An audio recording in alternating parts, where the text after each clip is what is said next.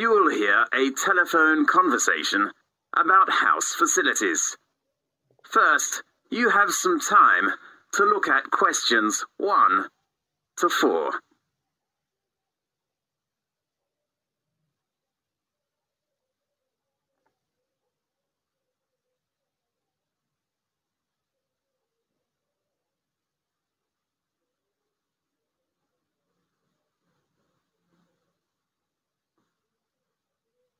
You will see there is an example that has been done for you. On this occasion only, the conversation relating to this will be played first. Good morning, Campus Flat Agency. How can I help you? Good morning. I'm ringing to complain about problems with my flat's facilities. Fine. May I take down your details first? The reason for dialing is to complain. So complain has been written in the space. Now we shall begin. You should answer the questions as you listen, because you will not hear the recording a second time. Listen carefully and answer questions 1 to 4. Good morning, Campus Flat Agency. How can I help you? Good morning. I'm ringing to complain about problems with my flat's facilities. Fine. May I take down your details first? Yes. What's your name? Kevin Green. OK, Kevin. And your address? I live in International House in the south area. Your room number? My room number is 16C. On which floor? The third floor.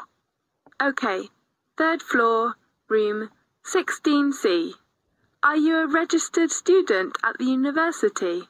Yes, I am. What's your registration number? It is KG6037. OK. What's your faculty? Computer science. How long is your flat lease? I'm not sure. Let me check.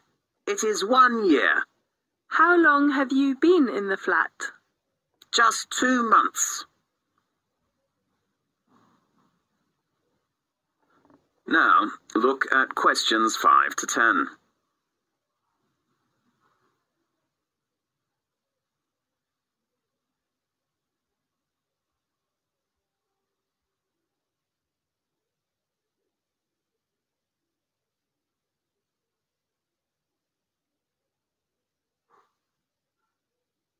Now listen carefully and answer questions 5 to 10.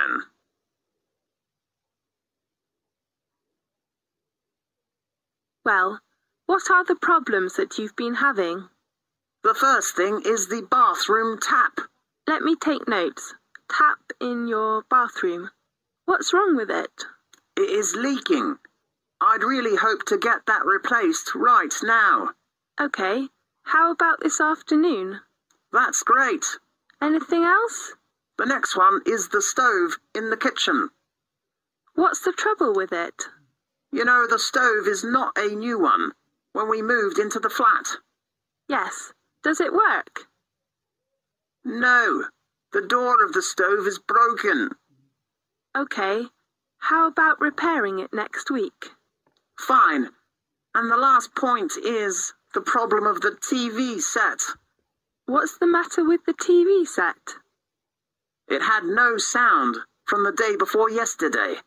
Fine. I do hope you can repair it as soon as possible. You know, there will be a very good football match on tomorrow evening. We all hope to watch it. OK. How about we repair it at the same time as your stove? Great. Anything else? No, just three items. OK. We will get a repairman over to you tomorrow afternoon. Are you available at that time? I will return to the flat at about four o'clock. So, how about five o'clock? Fine. You can contact the repairman if your time will be changed. OK. His phone number is 654 33747. Right. Do you have any questions? Let me think. Yes. How about the repair fee? Usually, the price is at least £5, but you just used two months, so we offer free repair. That's so great. Thank you very much. You're welcome. Goodbye. Goodbye. This is the end of section one. You now have half a minute to check your answers.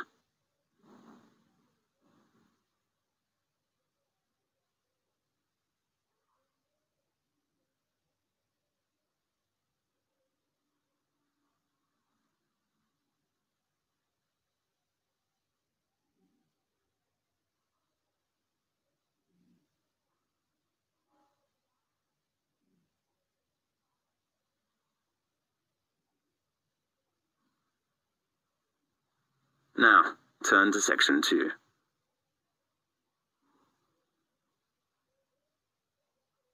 Section 2. You will hear a lecture about a sports centre. First, you have some time to look at questions 11 to 15.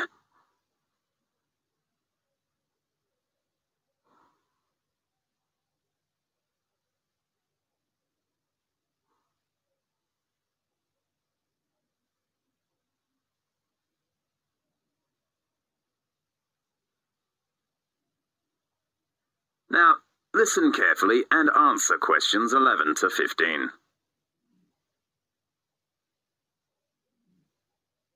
Welcome to the Edge Climbing Center. I'm Jason White, Manager Assistant. I'd like to give you an introduction about the Climbing Center. The Edge Climbing Center was opened in 1994 and reconstructed and doubled its original size in 1998. The Edge is a founder member of the Association of British Climbing Walls and supports the work of the British Mountaineering Council. As you know, climbing is a great activity for keeping fit and healthy. So we aim to provide a climbing experience that is enjoyable, imaginative, and challenging. Let's begin with our facilities. The first one I'd like to introduce you to is the main hall. With over 150 routes, the main hall packs in a huge variety of climbs on featured and flat panels. Our facilities are continuously developing and feature a 13 meter articulated wall that can rotate to minus 45 degrees. Easier routes can be top roped. Other routes have quick draws in place of the lead climber. We think we have every angle covered. Our bouldering area is one of the best of its kind in the country. A mixture of flat panels and featured walls provide overhanging cracks, flakes, pockets, and corners. There are angles to suit everyone, from the beginner to the most experienced climber. Located just next to our bouldering area is the small warm-up wall. You can climb at an easy standard to get those bones moving. There are lots of big holds and small crimps. In addition, it is also equipped with top ropes that are ideal for demonstrating techniques to novices. Our cafe is a relaxing place to have a rest between climbs with plenty of choice. We sell tea, coffee, and soft drinks, as well as a range of mouth-watering cakes. The Edge has two changing areas located on the upper floor. There are also toilets, washing facilities, and lockers. Locker keys are available from reception.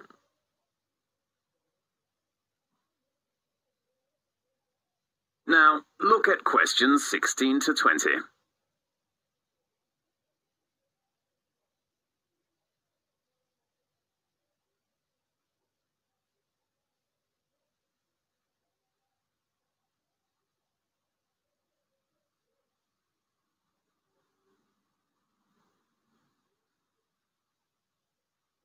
Now listen carefully and answer questions 16 to 20.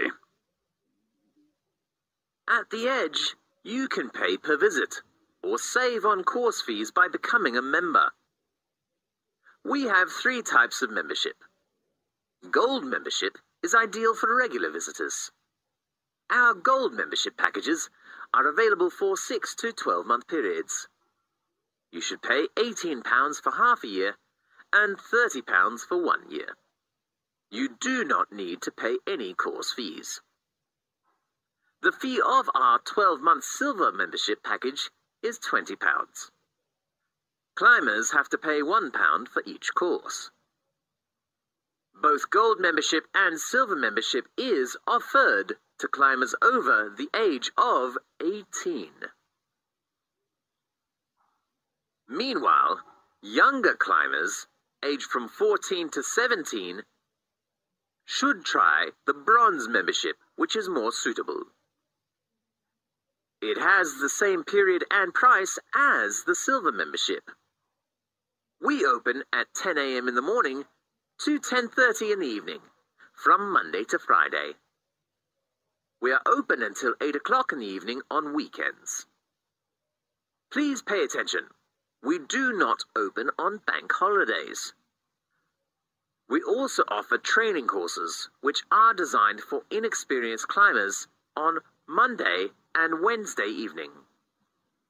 You can choose outdoor course or indoor course, depending on your needs. Usually, the indoor course is suitable for beginners. If you want to know more details about it, please visit our reception. Miss Morris will give you a hand. Thanks for attending the introduction lecture of the Edge Climbing Center. I hope you will enjoy our facilities in the future. This is the end of section 2. You now have half a minute to check your answers.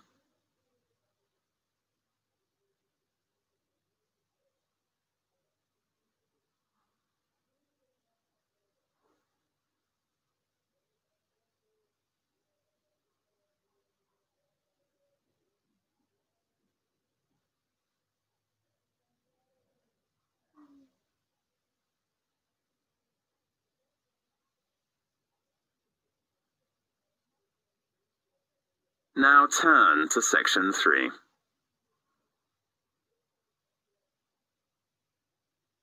Section 3. You will hear a lecture about a university library. First, you have some time to look at questions 21 to 25.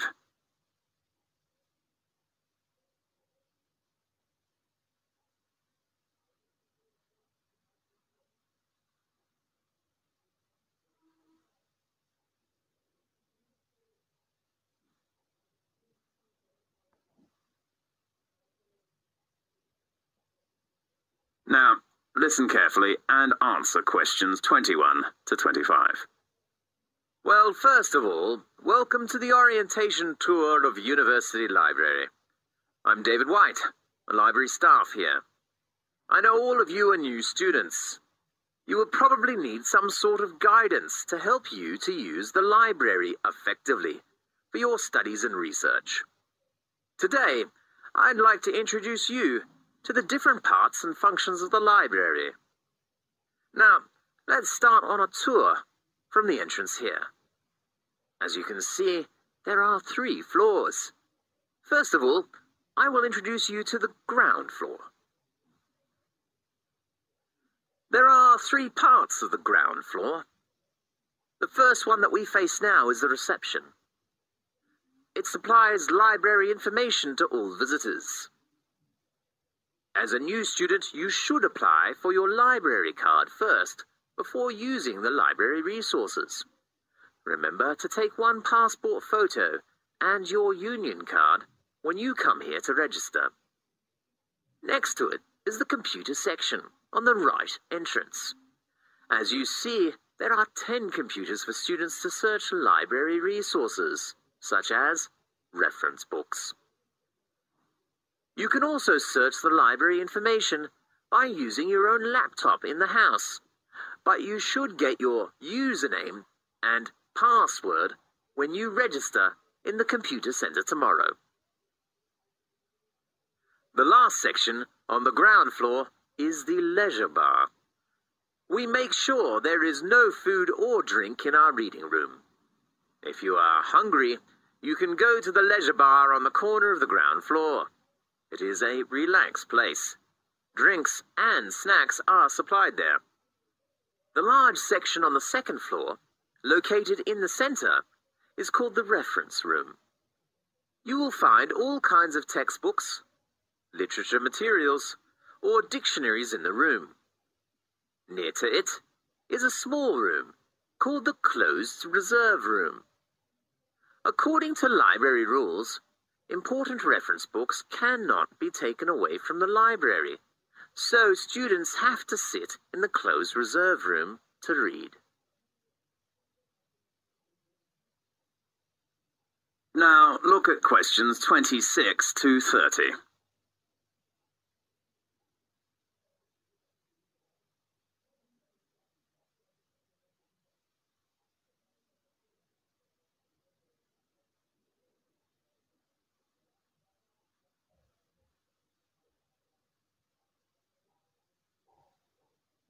Now listen to the tape and answer the questions 26 to 30.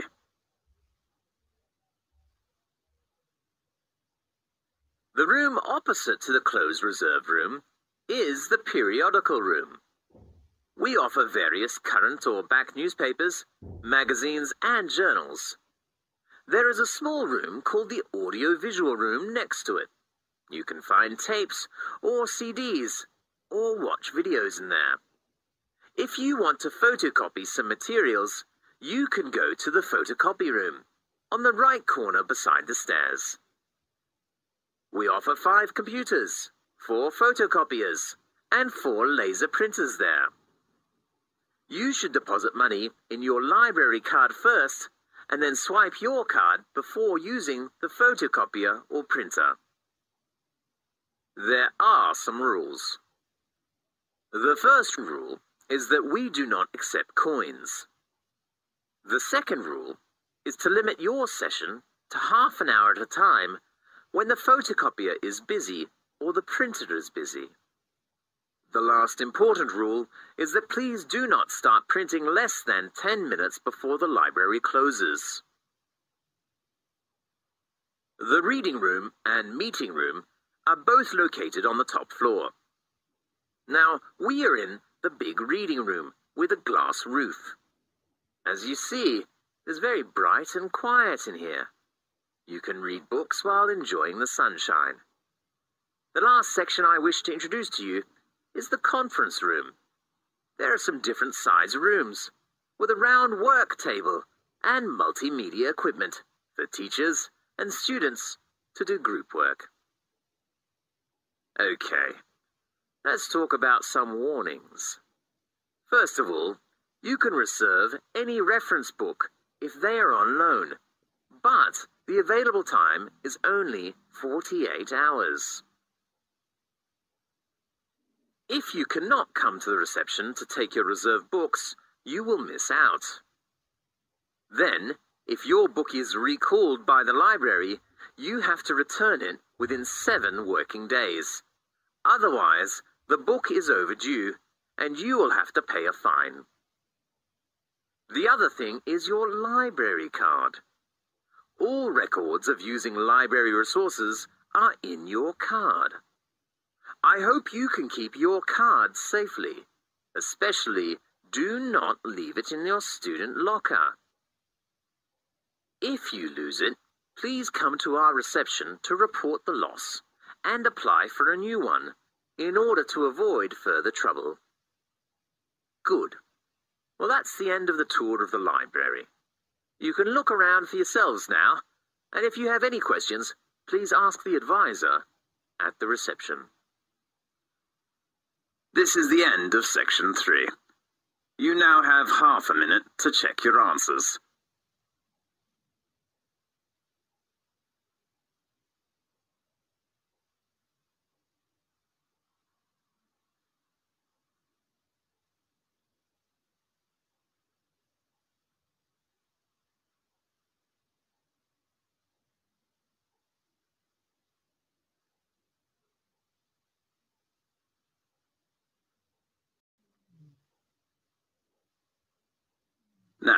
Now, turn to section 4.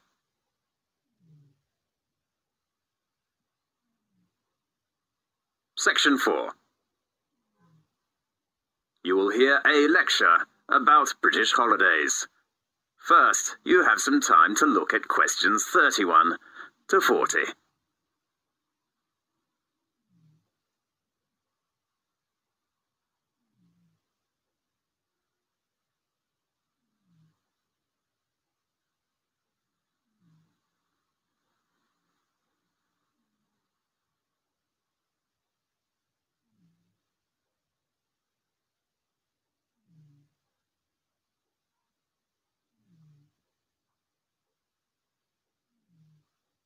Now listen carefully and answer questions 31 to 40.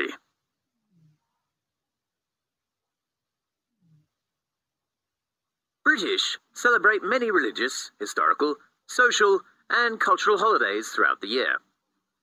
Some holidays marked on calendar are celebrated throughout the country. Others are based on local customs and traditions which reflect the variety of experience in different regions.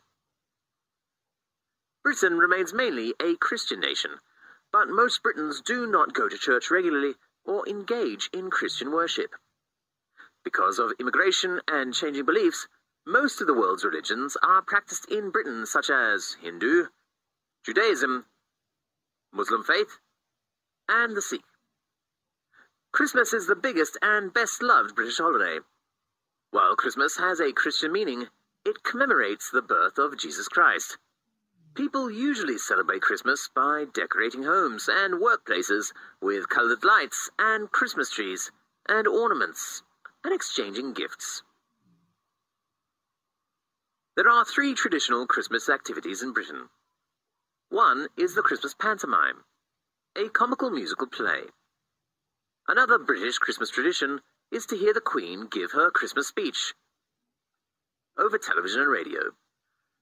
The British Queen is also the Queen of other nations, such as Canada and Australia, and so her speech is broadcast to millions of subjects throughout the world.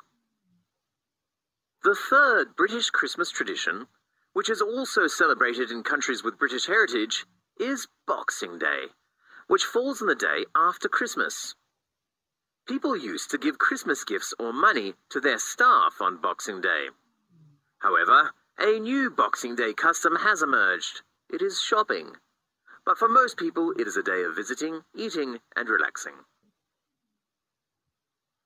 For churchgoers, the biggest holiday is Easter, not Christmas. It is the most important Christian festival in Britain. Easter commemorates the crucifixion and resurrection of Jesus Christ.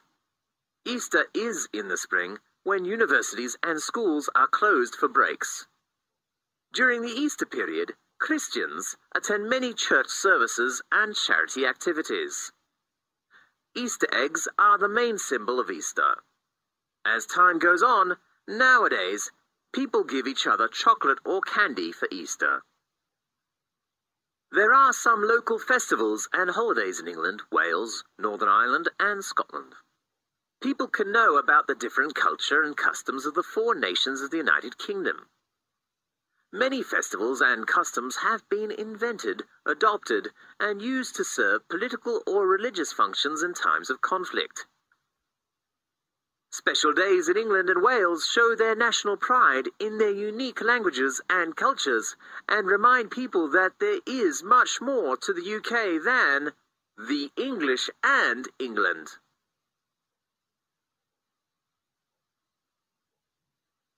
One truly English holiday in England is called Bonfire Night, celebrated in early November.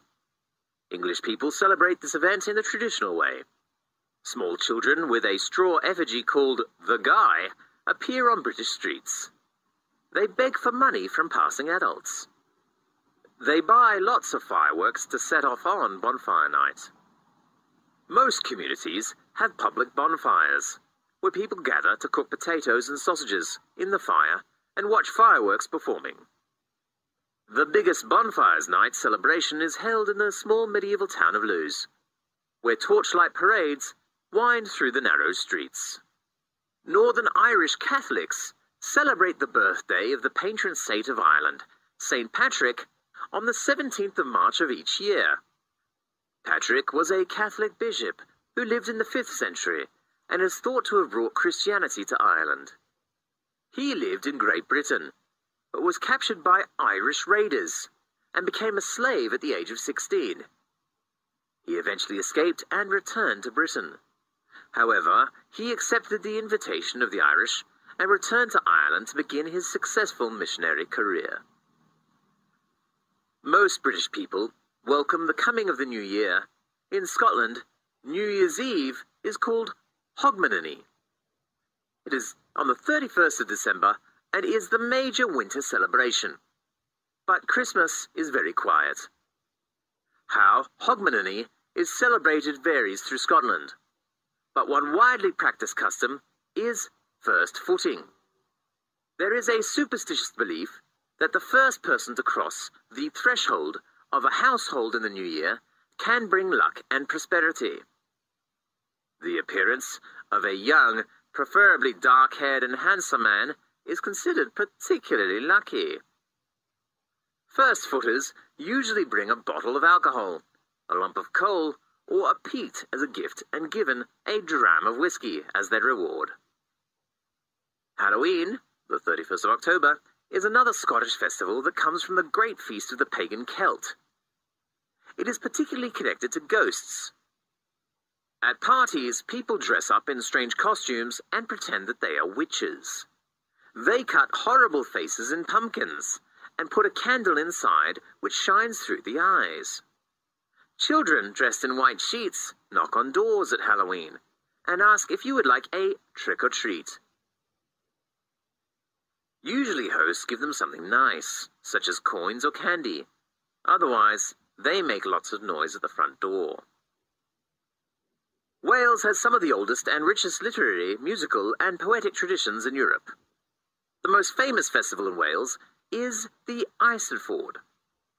In each August, Welsh people hold a large Eisteddfod to remind people that Wales has had a very special cultural heritage. The highlight of the festival is to crown the two bards who have written the best poems of the festival. Nowadays, the Eisteddfod is the largest popular festival of music making poetry and writing in Europe. The British calendar is full of holidays and festivals which show the different cultures and histories of the people who make up Britain. Such holidays and festivals not only remind people of how cultures change and influence each other, but also give people a chance to share in the rich cultural heritage of the United Kingdom. This is the end of section 4. You now have half a minute to check your answers.